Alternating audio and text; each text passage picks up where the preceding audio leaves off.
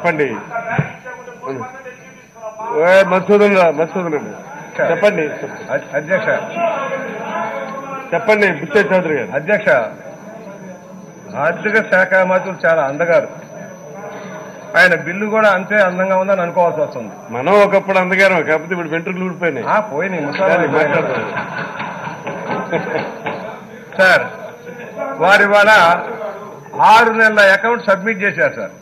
ఆరు నెలల అకౌంట్.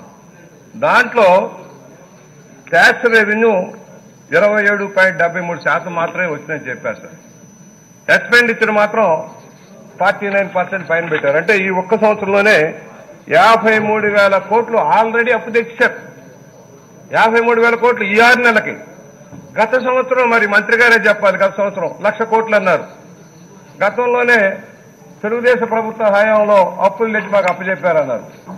మరి రేపు పొద్దున ఇప్పుడు ఈ సంవత్సరంన్నరకే లక్ష యాభై వేల కోట్లు చేస్తే ఐదు సంవత్సరాలకి ఎన్ని వేల కోట్లు ఎన్ని లక్షల కోట్లు అవుతున్నాయి ఒకసారి లెక్కేయండి దాని అప్పుల భారం ఎవరి మీద పడబోతుందో లెక్కేయండి ఆర్థిక శాఖ మంత్రి ఒకసారి చెప్పండి. రాజశేఖర రెడ్డి గారి దగ్గర నుంచి కిరణ్ కుమార్ రెడ్డి గారి దాకా వచ్చిన అప్పు లక్ష ఇరవై ఏడు వేల కోట్లు.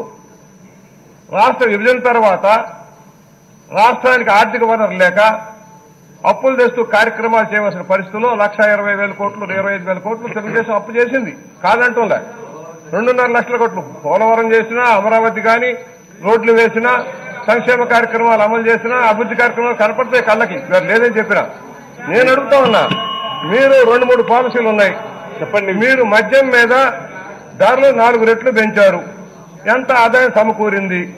మరలా ఎందుకు తగ్గించారు? సంపూర్ణ మద్యమాన్ని నిషేధంగా వెళ్ళేదానిక అలా అయితే ఏంటి ఆదాయ మార్గం? తగ్గిపోతే ఏం చేస్తారు? రెండోది ఇసుక. ఒకప్పుడు ఉచితంగా ఇచ్చిన ఇసుక.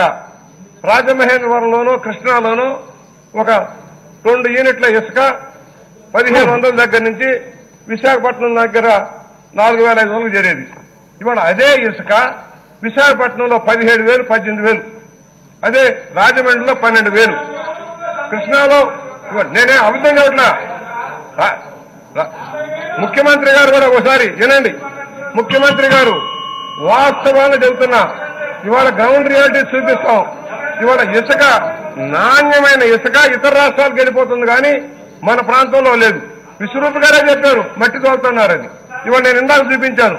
ఏంటి? ఇక్కడ కృష్ణ తాడేపల్లిలో ముఖ్యమంత్రి గారి సమీపంలో కృష్ణ ఉంది. మట్టి సార్. పన్నె పదిహేను రోజుల నాడు బుక్ చేస్తే వాళ్ళకు వచ్చిన ఇసుక మట్టి. పన్నెండు వేల రూపాయలు. తర్వాత మాట్లాడదాం సార్ ముందు దీని మీద. ఇదే దీని మీదకి వస్తున్నాయి సార్. ఇవాళ దాని మీద మీరు ఈ పద్దెనిమిది నెలలో మీ పాలసీ ఏంటి? నాలుగు సార్లు పాలసీ మార్చినా ఎందుకు ఇసుక సప్లై సరిగా కావటం లేదు? ఎందుకు లక్షలాది మంది భవన నిర్మాణ రంగ కార్మికులు నష్టాలు పాలవుతున్నారు? దానివల్ల మీరు ఈ పద్దెనిమిది నెలల్లో వచ్చిన ఆదాయం ఎంత? వైట్ పేపర్ పెట్టండి. మీరు ధరలు పెంచారు. మీరే నాలుగు వందల డెబ్బై ఐదు రూపాయలు ఫండ్లు ఫిక్స్ చేశారు. మీకు రాష్ట్రానికి వచ్చినంత ఆదాయం ఎంత? ఎందుకంటే అప్పులు చేస్తున్నారు కదా. ఆదాయం పెంచుకునే మార్గం కూడా చూడాలి కదా. అలా మా ఆదాయాలు ఏమొచ్చినాయి ఏ రంగంలో వచ్చినాయి మీరు డీజిల్ మీద పన్నేశారు పెట్రోల్ మీద పన్నేశారు కరెంటు రేట్లు పెంచారు. మరి ఆదాయం ఇంకా ఎందుకు తగ్గిపోతుంది? రెవెన్యూ ఎందుకు పడిపోతుంది? ఇవన్నీ చూసుకోవాల్సిన అవసరం లేదా? ఇవన్నీ చూసుకోవాల్సిన అవసరం లేదా? మేము సలహాలు ఉంటాం ఒక నిర్మాణాత్మకమైన విమర్శ చేస్తాం సార్. ఆశాభాష విమర్శలు కాదు. మీరు అప్పు చేసి పప్పుకోడు తింటా ఉన్నారు. ఇవాళ చెప్పారు ఇందాక రాజేంద్ర రెడ్డి గారు. మేము ఆసుపత్రులు కట్టిస్తా ఉన్నాం. ఇవాళ ఏదైతే మీరు కడుతున్న సచివాలయాలు well- wellness centre Rythu Bharosa కేంద్రాలకి ఎంఎన్ఆర్డీస్ matching మీరు ఖర్చు పెడుతుంది ఎంత? బిల్లులు ఎందుకు పే చేయలేకపోతున్నారు? కాంట్రాక్టర్ బిల్లులు పెండింగ్ ఉన్నాయి. ఒక కాంట్రాక్టర్ మీకు సంబంధించిన వాళ్ళే బాధపడుతూ ఉన్నారు.